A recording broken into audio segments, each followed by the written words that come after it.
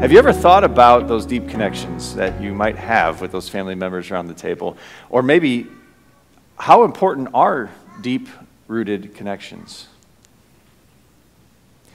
You might be thinking about that as you think about the people that you're deeply rooted with or the deep connections that you have. A deep connection is harder and harder to have in today's world because we are a little bit more superficial than we have been in the past. We like making lots of friends. How many friends do you have on Facebook? How many friends do you have on Instagram? You might say, I have hundreds and hundreds of friends, but how deep do those connections really go? But you know, the psychologists, they say that the deeper connections that you have, that means the deeper relationships that you have, they can stabilize you if you have a good one. But if you have a bad one, they can do the exact opposite. Um, there's this doctor, uh, a geobiologist. Her name is Dr. Hope Jahren. And uh, she said something pretty interesting. She wrote in 2016 this treatise on, um, on, on plant life, but it also was kind of a memoir of her life, and she was kind of thinking about both plant life and relationships. And she says this No risk is more terrifying than that taken by the first root of a plant, she's talking about, or a tree.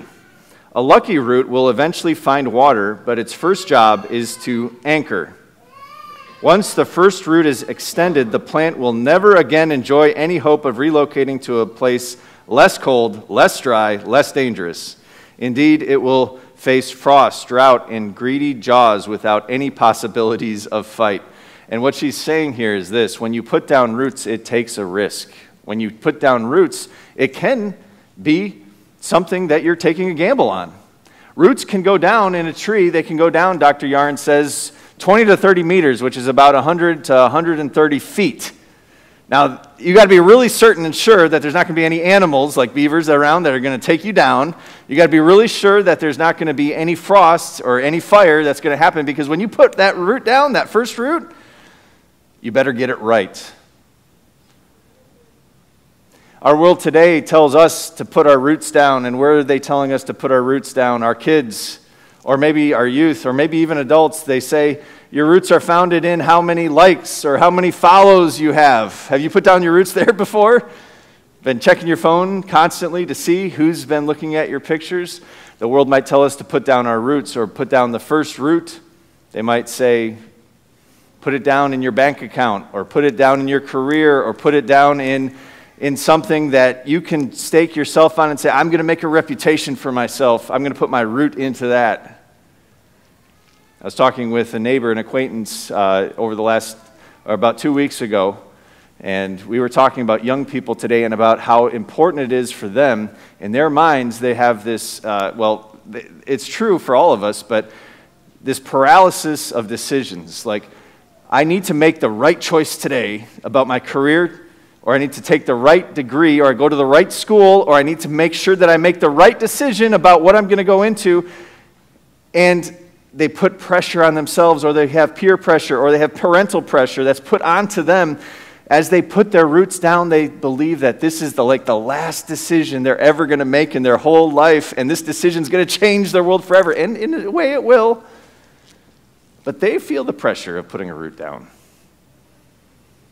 Having the right root is important. And having the right root changes everything.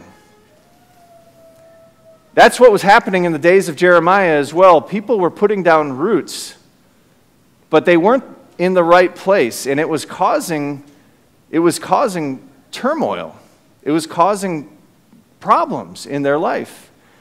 They, like the world today tells us to put down our roots in things that don't last and things that, that, that will go away our career, or our money, or our influence, or our popularity. Putting down the right root is so key, and it's something that God has thought about as well.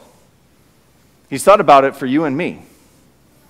Because we keep putting down roots in the wrong places, God comes to us and he comes to the people in Jeremiah's day and he says, You've put down the roots in the wrong places and it's a dead end. And yet I'm going to raise up a righteous branch and create life from a place where there is death. This is the story of Jeremiah, and this is where these words are coming from. In the days of Jeremiah, I'm going to read them in just a second. Jeremiah is a prophet that lived about five, six hundred years before Jesus. And the people of Jeremiah's day, they were just like us in many ways. They like to follow the trends.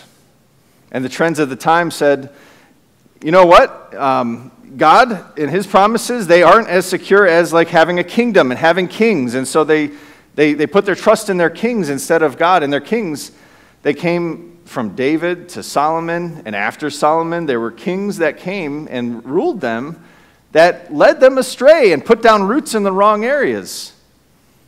There were kings that said it's good to have Baal worship. Kings like, well, there were some good kings like Josiah who brought them back to God, but most of them were bad. they were duds. They said things like, we should set up Baal worship all over Judah and Israel. The kingdoms had split at this time. And they said, both kingdoms said we should worship Molech, which actually included child sacrifice. They thought that would be the answer to all of their problems. They were being led astray by their kings, they were being led astray by their leaders. And the people followed.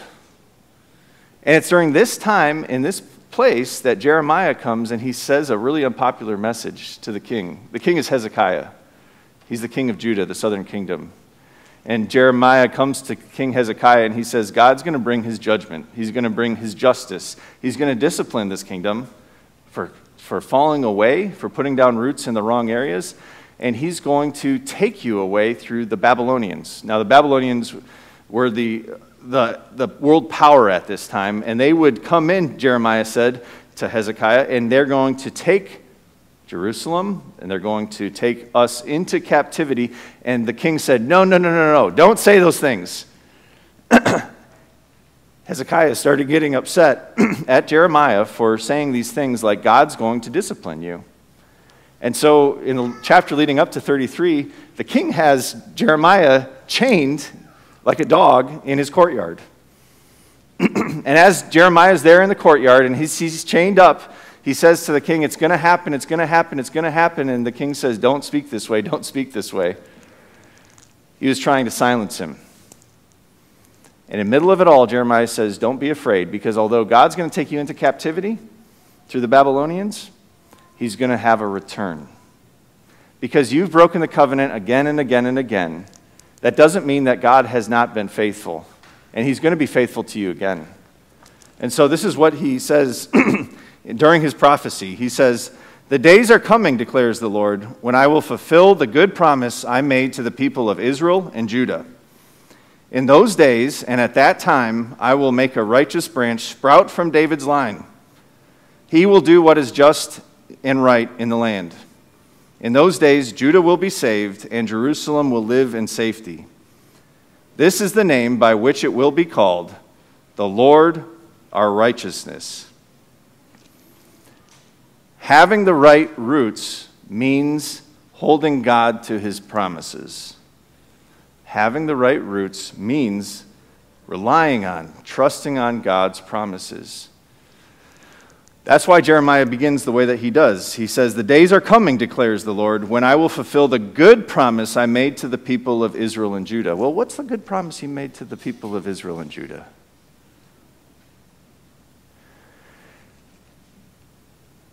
From the very beginning of time, when you and I, individually and collectively, through our first parents, rejected God and say, said to him, God, my way is better than your way.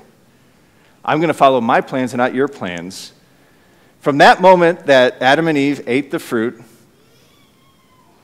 they should have been wiped off the face of the earth, you and I together. And yet God came to them and made a good promise. What was his good promise? He said, I'm going to send a conqueror who's going to defeat death. I'm going to send one that's going to undo all the things that you did to say no to me. I'm going to send one to crush Satan's head. He made a good promise. That's what Jeremiah is saying. From that time on, uh, God made good promises to his people. What were some of his other good promises that he made? He came to a man and a woman, Abram, and Sarah, who were barren. They couldn't have any children. And what did God say to them? He made a what? A good promise. Say it with me. A good promise that they would be the parents of a great nation, and all nations would be blessed through them because God makes good on his promises. God is the God of good promises. When he says that God has made good on his promises and God has promised Israel and Judah, when that nation became a great nation and that nation was in Egypt and got enslaved by Pharaoh and was at risk of being wiped off of the face of the earth because there was genocide, infanticide against the babies in that land, God made a good promise to Moses saying, Moses, I'm going to use you to bring the people out of Egypt and to save this nation because God is the God of good promises. And God made good on his promise again. And when they got out of that land and they approached Cana, uh, Canaan, uh, they went into that land and there were giants, there were huge people, and the spies, they said, We can never defeat these people. These people are too big, the armies are too strong. But God made good on his promise, and he said to his people, It's not by your strength that you're going to take this land, it's by my love and my grace and my will that you will take this land because God is the God of what? Good promise. Now, I'm asking you today, December 1st, 2024, do you think God has stopped being the God of good promise?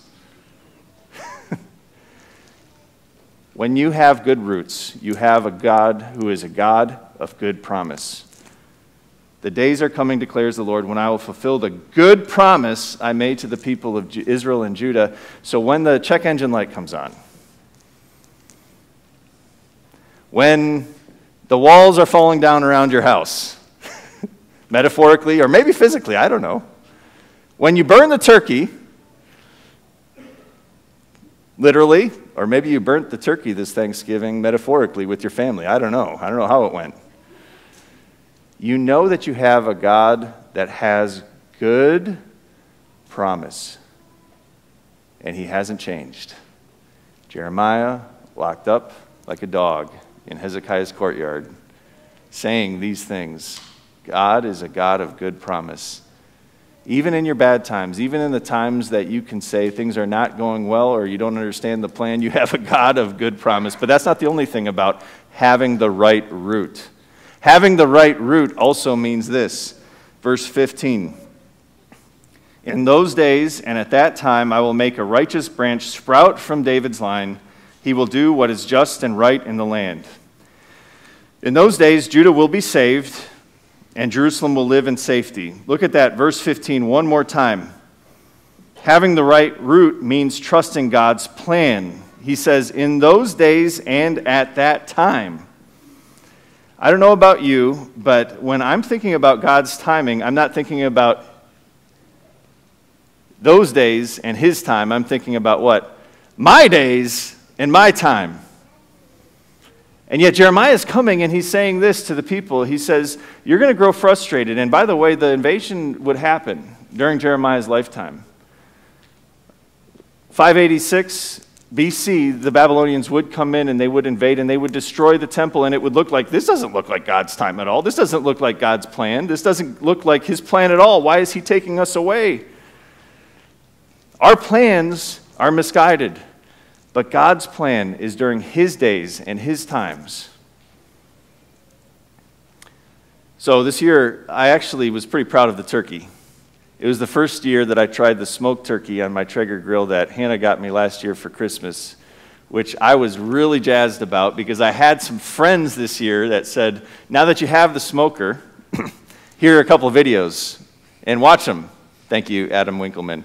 Was also uh, Annie and he are uh, heading up our fellowship brunch coming up in just a little bit. So I was thankful, Adam, that you gave me those videos because that thing turned out great.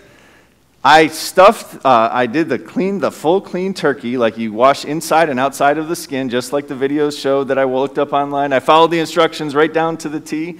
I stuffed the turkey with thyme and with herbs and with uh, shallots and with, um, and with garlic, like half a garlic clove. I put that thing in there because I really like garlic.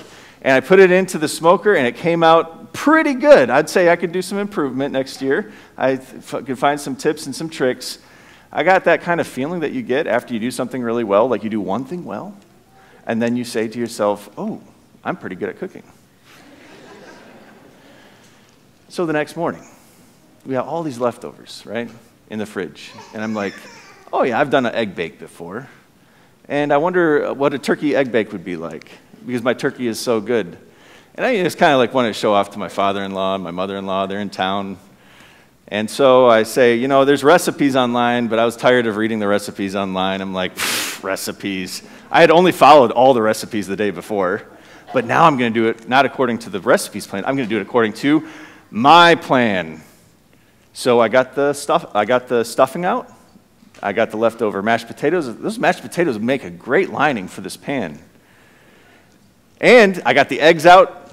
I put together the stuffing in the eggs and the turkey in the eggs, and I mix it all together. Here's some sour cream that's left over. I'm going to throw that in there as well. And man, and there's the herbs. Oh, the extra thyme, the extra herbs, the extra shallots. And look, there's actually like a half a thing of garlic that's left, a half head of garlic that's left. Let's just do that too. I put the half head of garlic in. Yeah, you heard me right. I put the half head of garlic in. Baked it in the Traeger for 45 minutes, and boy, did it smell amazing. I love the smell of garlic. But then, as I watched my father in law take the first bite, did you hear me say that? I put half a head of garlic in. I took a bite and I thought to myself, no vampire is going to be around me for the next month. And I'll tell you the truth, even up to yesterday, I was sitting in my office typing out the rest of this sermon and I smelt my hands. I was sweating garlic up to yesterday, last night. So if y'all, that's why I'm up on the stage and you're there. I did it according to my plan. And how did it turn out? Bad. Well, actually, Dad said this. He said, not bad. And then Mom said, Can you be more polite? And he said, I said it wasn't bad. it wasn't good. I'll say that. When you and I make plans according to our own plans, and this is what Jeremiah is trying to get across to his people of his day, when you do it your own way, and you try to put down your roots your own way and say, I don't need the recipe, I don't need God, it's not going to turn out well. And the fact is, is that when he's speaking about this branch, he's saying, I have my days and my time. He's saying, I have my recipe for a righteous branch to, a righteous branch to sprout from David's line. Did you get the context already about Jeremiah? That kingdom was a dead kingdom. They have rejected God. They're like a stump in the ground. Have you ever had that stump in the ground that is just dead and you can't get rid of it? God's saying in this text, He's saying, I'm going to bring a righteous branch. My plan is that I'm going to bring life in place that there is death. And you can't do this on your own. You need me to do it for you. My friends, you and I, we need grace. We need forgiveness. And the recipe isn't you have to follow Jesus and follow his example in order to be right with God, or you need to be better, or you need to do better, or you need to climb the mountain. The answer is Jesus needs to make new life in you. And he does. He has to because we're the dead branch. We're the ones that are running after likes and dopamine hits online. We're the ones that are that are trying to find significance in our bank accounts. We're trying to find significance in our power and our influence. We're the ones trying to follow the recipe card and saying, we're opening up the fridge and say, I got it my own way. God says, no, you don't just not have it your own way. You have it all backwards and your roots are not in the right place. But in order to have the right roots, it means trusting God's promises, but it's also trusting His plan. Are you ready for His plan? This is how we have to close today. In the last verse, he says, In those days, Judah will be saved, and Jerusalem will live in safety. This is the name by which it will be called the Lord our righteousness. Having the right root means trusting in God's person.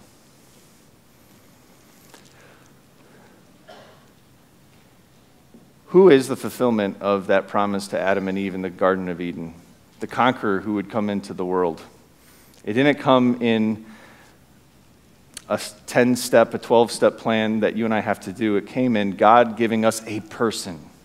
This is what Advent is all about. This is what these metaphors, the messianic metaphors that we're talking about all month in our sermon series, are all about. That conqueror, the head crusher, came into this world, and in order to crush Satan's head, he gave his life on a cross.